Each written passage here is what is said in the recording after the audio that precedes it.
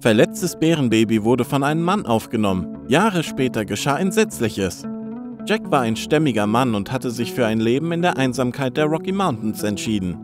Vor ein paar Jahren war er noch ein Manager in einem großen Konzern. Doch der ständige Stress und Leistungsdruck setzten ihm sehr stark zu. Er stand kurz davor, einen Burnout zu erleiden und beschloss somit, die Reißleine zu ziehen und seinen gut verdienenden Job an den Nagel zu hängen. Seit er sich tief in die Wälder bei dem See namens Michael Lake in British Columbia zurückzog, ging es ihm wieder besser.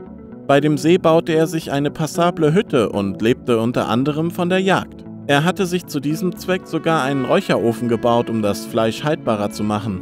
Ein Dieselgenerator erzeugte den Strom und sorgte für ein wenig Luxus.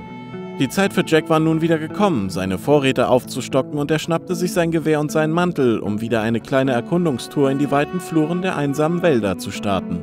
Natürlich musste er stets auf der Hut sein, denn es gab in dieser Gegend neben Berglöwen auch den gefährlichen Grizzlybären. Er war schon eine Weile unterwegs, da vernahmen seine Ohren ein leises Wimmern. Jack beschloss, der Sache auf den Grund zu gehen. Das Unterholz war sehr dicht und es knackte unter seinen Schritten. Seltsamerweise hörte das Wimmern trotz der Geräusche der brechenden Äste unter seinen Schuhen nicht auf. Das Wehklagen wurde lauter und Jack war sich sicher, dass er hinter dem nächsten Busch den Grund erfahren würde.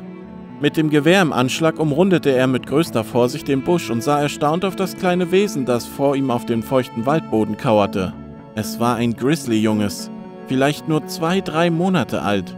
Das junge Tier hatte entlang der Flanke eine tiefe Wunde. Offenbar lief es durch die Schmerzen einfach los und brach hier dann vor Erschöpfung zusammen. Plötzlich knackte ein Ast in der Nähe. Jack war sehr angespannt, immerhin konnte seine Mutter in der Nähe sein und mit einem ausgewachsenen Grizzly war nicht zu spaßen. Diese Tiere waren für ihre Aggressivität bekannt. Doch es war nichts von einem Bären in der Nähe zu sehen und Jack widmete sich wieder dem kleinen, verängstigten Jungtier. Er hatte die Waffe schon im Anschlag und wollte das schwer verletzte Tier von seinen Qualen erlösen. Da blickte ihn dieser kleine Grizzlybär tief in die Augen. Für einen Moment fühlte sich Jack dem Tier in einer Art verbunden, die er mit Worten nicht hätte beschreiben können. Als er wieder zu sich kam, schulterte er sein Gewehr und nahm seinen großen Rucksack ab. Nun setzte er sich zu dem Jungen und prüfte, ob sich der Kleine von ihm anfassen ließe.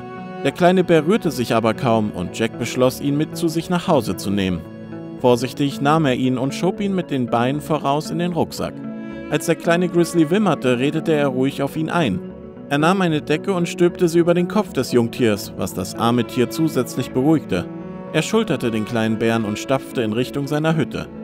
Der Weg war beschwerlich, da er den Rucksack immer wieder abnahm, um nach dem kleinen Bären zu schauen. Nachdem er erschöpft in seiner Hütte ankam, legte er den Bären auf seinen Tisch und untersuchte die Wunde. Das Tier schien mittlerweile bewusstlos zu sein und Jack säuberte seine Wunde und begann sie zuzunähen. Dann nahm er den Verband und wickelte ihn um den Bären. Jack suchte noch ein paar Decken zusammen und legte den kleinen Bären hinein. Während das Jungtier schlief, baute Jack einen kleinen Laufstall mit Gitter. Nachdem er fertig war, legte er das kleine Tier vorsichtig hinein. Am nächsten Morgen schien der kleine Bär aufgewacht zu sein und machte zumindest andere Geräusche als am Vortag. Na, du kleiner Racker, ich muss dir wohl noch einen Namen geben. Jack überlegte. Hm, ich denke, ich werde dich Bandit nennen. Der kleine Bär schnaubte so, als wolle er wohl sagen, dass ihm das egal sein würde. Ich bin bald wieder da, Bandit. Ich muss dir etwas Milch besorgen, sagte Jack mit kräftiger Stimme. Er ging zu seinem Nachbarn Anuk. Sein Freund war vom Stamm der Shoshonen und sie lernten sich vor zwei Jahren bei der Jagd kennen. Seine Hütte lag südwestlich, etwa zehn Meilen entfernt. Anuk saß vor seiner Hütte und reparierte ein Fischernetz. Jack begrüßte ihn und fragte ihn, ob er noch etwas fetthaltige Milch haben würde.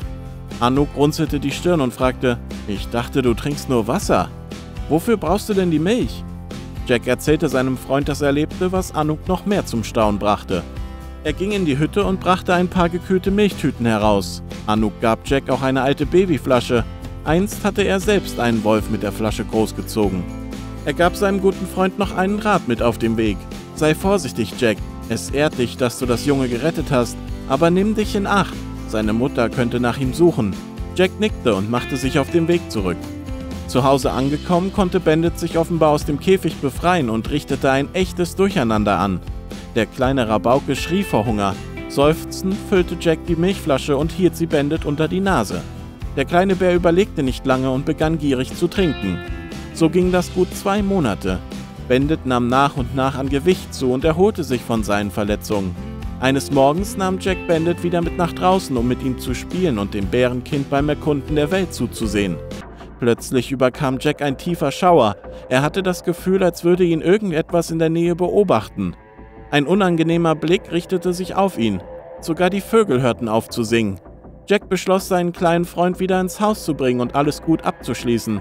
In der darauffolgenden Nacht hatte er das Gefühl, als würde etwas Großes um die Hütte schleichen. Es kam ihm so vor, als würde etwas an der Türe kratzen. Auch Bandit wurde unruhig und Jack nahm das Gewehr in die Hand, als das unheimliche Wesen wieder in die Nacht verschwand. In den nächsten Tagen und Wochen kam es immer wieder vor, dass ihn etwas beobachtete. Doch schienen er und Bandit nicht in Gefahr zu sein. Er sagte zu sich, dass es nicht so weitergehen konnte. Er sperrte Bandit ein und ging mit seinem Gewehr in die Wildnis hinaus. Er war womöglich schon fünf Meilen von der Hütte entfernt, da hörte er hinter sich etwas laufen. Jack drehte sich um und richtete seine Waffe aus. Plötzlich bog um den Busch Bandit, der ihn quiekend gesucht hatte. Wie bist du bloß aus der Hütte gekommen? staunte Jack nicht schlecht. Er legte das Gewehr zur Seite und umarmte seinen kleinen Freund. Auf einmal knackte es hinter ihnen. Jack drehte sich nach hinten und wollte schon sein Gewehr greifen. Da schrie ein unbekannter Mann, der ihn warnte, es nicht zu tun. Es waren insgesamt drei grimmige Männer, alle bewaffnet mit Gewehren, die sie nun auf Jack richteten. Diese drei Männer waren eindeutig Wilderer, denn sie hatten mehrere Bärenfallen an ihren Gürteln hängen. Einer dieser Männer kam auf Jack zu und schlug ihn zur Seite. Ein anderer warf ein Netz auf Bandit und fesselte seine Beine. Bandit schrie laut nach seinem Freund, er möge ihm doch helfen. Jack lag am Boden und ein Mann drohte ihm mit einem Messer. Plötzlich sprang eine große Grizzlybärin aus dem Unterholz und griff sofort die Wilderer an. Mit einem mächtigen Hieb streckte sie den Mann mit dem Messer nieder und griff sofort danach die anderen an. Instinktiv griff Jack nach Bandit und löste seine Fesseln, hob ihn hoch und rannte mit ihm davon. Er lief und lief und wagte sich nicht umzudrehen. Bandit piepste kleinlaut, in der Ferne hörte er das Gebrüll des Bären. Die Männer schrien vor Entsetzen und auf einmal war alles still. Offenbar waren sie so überrascht von dem Angriff des Bären, dass sie keine Zeit mehr hatten, von ihren Waffen Gebrauch zu machen. Nach gut drei Meilen brach Jack vor Erschöpfung zusammen. Bandit krabbelte zu ihm und leckte ihm die Hand. Er wollte sich schon aufrichten. Auf einmal sah Jack, wie die Grizzlybären keine zehn Meter von ihm entfernt aus dem Busch stapfte und ihn bedrohlich ansah.